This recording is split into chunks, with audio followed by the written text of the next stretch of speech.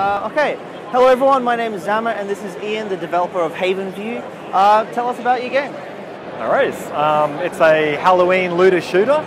It's set in the 90s, so essentially you're basically starting off with your friends, do some uh, trick-or-treating, and then when you um, discover that there's like an alien invasion, you're uh, basically trying to fight back and save Havenview. So it's like a race against time. Uh, so what consoles is it, is it on? So it's on PC. Um, we've just put it up on Steam, so you can wishlist it. Um, we're probably about a year away still before it's fully released.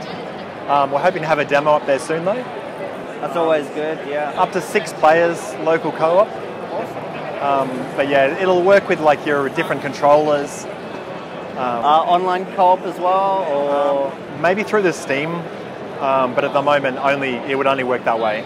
So there's no full multiplayer yet. Okay. What's your favorite part of development for this game? Um, pretty much like trying to be a jack of all trades. Like I've got to learn lots of different things. Are, are you also the only developer? Only developer, but I've got an amazing artist called James Merlin in the US. Um, so he does all our art and he's helping with animation and things like that. And what about the hardest part of development? Um, not being able to test multiplayer like solo. So um, yeah. I got to see five people playing for the first time ever before, which was amazing.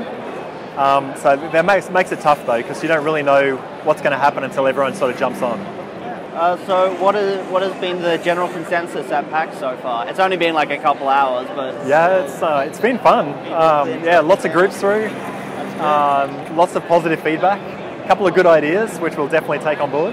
Awesome. Uh, and last one, any tips for indie devs out there? Definitely come to PAX.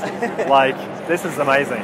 Yeah. So it's like even if you've only got like a playable demo or whatever, it's worth like investing in a pod and like just giving it a shot. Yeah, cool.